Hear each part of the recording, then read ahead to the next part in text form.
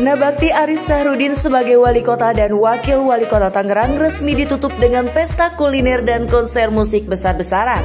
Bertajuk Culinary Day 2023, pesta perpisahan ini diramaikan dengan penampilan Budi Doremi dan Denny Caknan.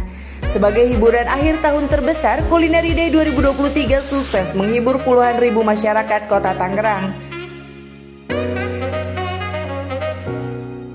Culinary Day pada hari ini kegiatan adalah kegiatan tahunan kami, tapi spesialnya ini kami ada sekaligus kegiatan tribut buat Bapak Haji Arif Wismansa dan Bapak Haji Sahrudin. Karena pada hari ini beliau sudah menuntaskan pengabdiannya di kota Tangerang selama satu dekade.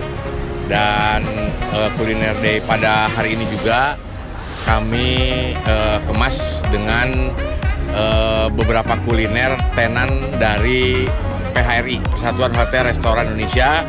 Ada 20 uh, eh, tenan, yaitu 18 dari hotel dan dua dari restoran yang ada di kota Tangerang.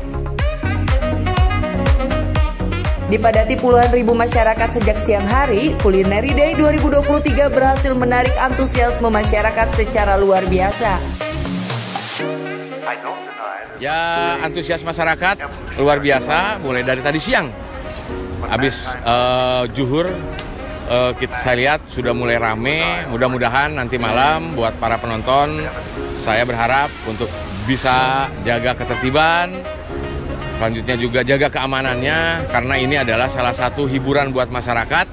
Mudah-mudahan ini berkenan buat masyarakat dan mudah-mudahan masyarakat juga menjaga kondisi biar kondusif.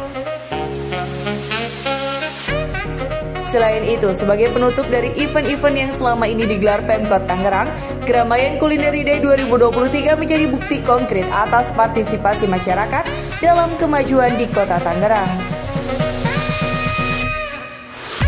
Ya, uh, senang apa sangat senang sekali sih meriah gitu acaranya. Jadi, yang mudah-mudahan sih ke depannya bisa ngadain event-event lagi buat Kota Tangerangnya gitu. Yang mudah-mudahan bisa lebih gede dari ini gitu eventnya atau mungkin bisa ngundangin artis internasional ya kan? Gitu aja sih. Muhammad Teguh Saputro Wahyu Firdaus Tangerang TV